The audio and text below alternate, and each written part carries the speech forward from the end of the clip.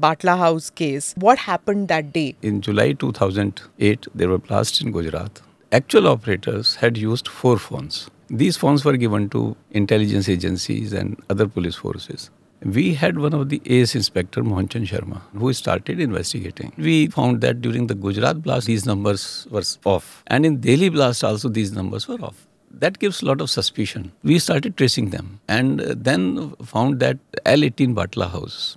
So we decided that the team will go in the morning. So the first team wanted to first confirm if there is anybody inside or not. So it wasn't an ambush that day? No, it was not. It wasn't planned to be? No, okay. not at all. In the highly congested area, if they go with the police uniform or if they go with a bulletproof jacket, people will know that police had come to this particular house and the, they will vanish. So team decided not to wear the bulletproof jacket.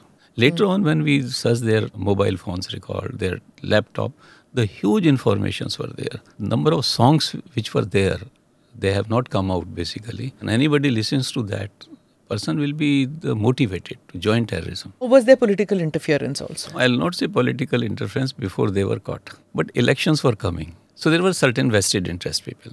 They were talking about these people are of particular religion. Mamta Banerjee. And in a public meeting, she was talking against Delhi police. I think it, it, it is a vote bank politics.